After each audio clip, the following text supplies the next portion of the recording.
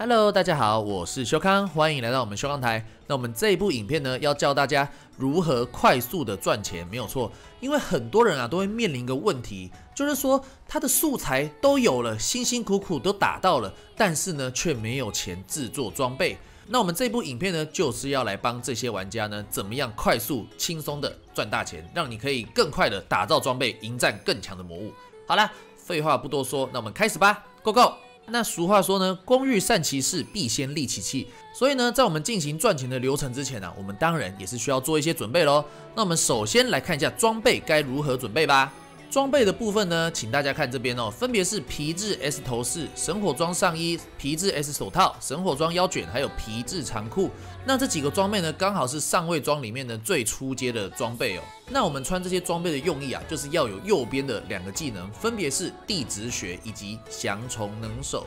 那为什么要地质学呢？因为地质学它到 LV 三的时候呢，它矿石采掘点的取得数会额外加一，千万不要小看这个加一。等一下大家知道为什么了。那另外一个呢是降虫能手，降虫能手的话呢，就是到 LV 三的话呢，可以额外提升在地面时的回复速度，而且它 LV 一的时候呢，它野生降虫的可使用时间变为一点三倍。那因为我们等一下在采的过程中呢，会需要用到降虫大量的使用，所以呢，这个技能呢也是需要的。那如果说你真的没办法凑出这个装备，请记得地质学 LV 三是一定需要的，地质学是必要的。那降虫能手呢？不一定。降虫能手，如果你这个流程够熟悉的话呢，你也可以不用降虫能手。但是地质学这个技能是绝对必要的，绝对要带的。然后第二个要做好的准备呢，应该说是一个技巧，就是很多人可能不太清楚这个技巧，就是说当你在空中的时候啊，这时候呢你按下圈，你会发现你会停在半空中。停在半空中的时候呢，是可以再度就是射出翔虫的，你可以这样子自由的瞄准。好，那么我们再示范一次给大家看哦。例如说呢，我们现在的往前有没有飞上空中，停在半空中，回头放这边，是不是？你看它就会回头了。那这个技巧呢，等一下呢也会用到。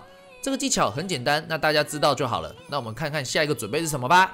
下一个准备呢，在柜台这边哦。首先呢，我们进去这里面，然后呢进阶探索之旅。这边呢，水墨林哦，一定要选水墨林。水墨林这边的环境资讯呢，一定要有一个矿石增值这四个字出现，没有错，一定要有矿石增值，会差非常多。如果没有矿石增值要怎么办呢？来，请大家到这边哦，这边这个卡卡西哦，不是尼泰教官呐，跟尼泰教官接这个斗技场的任务，然后就去给魔物打死，打死之后呢，这边这个任务呢就会刷新哦。它的这个描述，它的环境资讯呢可能会变，可能会变成其他的，那你就一直刷到有矿石增值这四个字出现为止，没有错。那以上呢就是我们在进行赚钱的流程之前做的准备哦。做好了之后呢，我们就进去开始探索吧。好的，那一开始呢，立刻先骑上狗往前冲哦，往第一个矿脉的方向前进。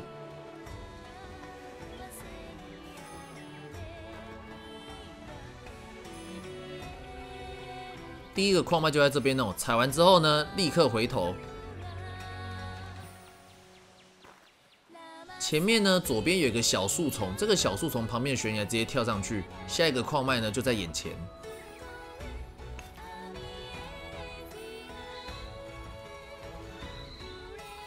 右边这边直接跳上去，下一个矿脉也在这边。踩完之后呢，旁边有一个洞，有没有？直接跳下去。跳下去之后呢，往比较高的那一层用这个翔虫飞过去哦，矿脉就在这里。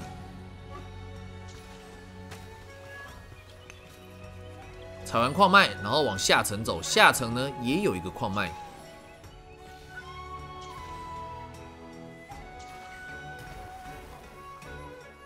这个矿脉采完之后呢，一样回头往这个出口走，往这个洞穴的出口走，出口附近呢也有一个矿脉。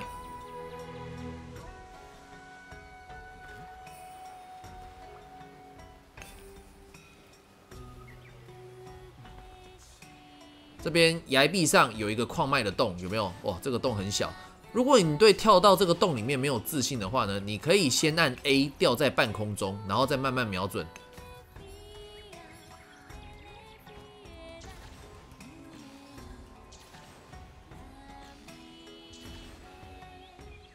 这个矿脉采完之后，注意立刻传送到副营地。所以你这边如果还没有解锁副营地的话呢，记得先解锁。到了副营地之后呢，旁边有个矿，先踩，踩完之后呢，再骑上狗往下一个矿脉出发。然后我们再的目标呢是下一个建筑物哦，这边应该可以看到右边有个建筑物，有没有类似金字塔的建筑物？我们下一个矿脉呢就在建筑物的顶端，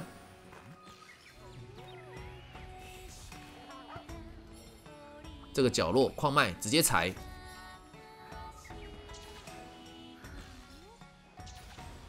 这边有一个矿脉，一样隐藏在悬崖底下。这个地图的矿脉很容易隐藏在悬崖底下，不知道为什么。这边的河流呢，不要走错边哦。大家仔细看左下角的地图哦，河流千万不要走错边。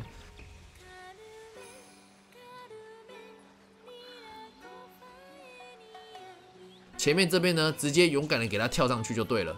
这边继续往前走，我们的目标呢是这个金字塔底部的一个大翔虫哦。这边金字塔底部有个大翔虫，可以直接带我们到金字塔的中间去，那也是我们的目标。这边有大翔虫，好，我们直接飞上去。到了它中间的这个房间哦，房间顶端呢有天花板有一个洞，我们就是要从那个洞直接到更上层去哦。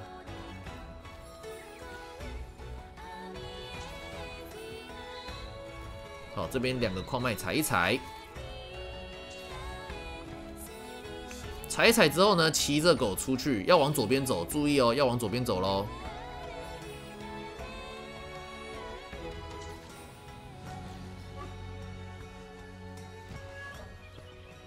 下面这边有还有一个洞穴的入口，房间的入口了，然后记得直接进来，里面有一个矿脉，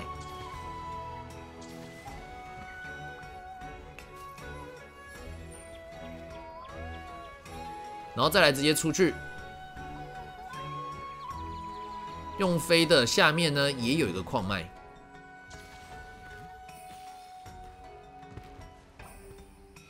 这个矿脉踩完之后呢，注意旁边还有个矿脉，再飞一次。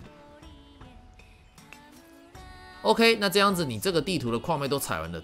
好啦，那我们现在踩完一轮之后呢，可能有些人问说：“哎，秀康。”那那个任务资讯那边呢？矿石增值，环境资讯依然还在，那是不是要再踩一轮呢？我是建议大家不要再踩一轮，这个时候你就直接完成任务，离开这个探索。为什么呢？因为很多时候你多踩一轮之后呢，你会发现啊，你的任务资讯这边虽然依然有矿石增值，但是一旦你离开这个探索之后，你要再接这个探索的时候，你就会发现环境资讯里面的那个矿石增值的条件不见了，没有错。那但是呢，如果你只有踩一轮就出去的话呢，那通常啊百分百这个矿石增值的环境资讯依然还会在，你下次进来的时候还会在，没有错。所以我是建议大家哦，踩完一轮就出去，然后再进来，这样子呢才有百分之百有矿石增值这个项目在，没有错。那我们这样子一趟踩到的矿石拿出去卖钱呢，其实非常多。呃，我个人大概估计了一下，平均大概会有二十到二十五万左右。就是我们这样一轮踩的矿石，运气好一点就很多嘛，可能到甚至有可能到二十五万。那如果运气差一点的话，那加上你的猫咪采集的矿石，大概就是二十万左右。所以你想一想，我们熟悉这个流程之后呢，算上离开这个探索又进来这个探索的那个跑图的时间呢，五分钟二十万差不多。所以呢，这个方法非常的厉害，五分钟二十万嘛，哇，赚烂了，赚烂了。所以呢，如果你担心钱不够的话，照我们这个影片的方法，轻轻松松，你的做装备的钱呢，马上就有了，你就可以再去挑战更强的魔了。好了。那我们这一部影片就到这边，希望大家都能够顺利的做出自己想要的装备，顺利的挑战要击败的魔物。如果这部影片对你有帮助的话呢，记得按赞、订阅，并且开启小铃铛，没有错，三个动作一次满足。那我们下一部影片见喽，各位，拜拜啦，拜拜。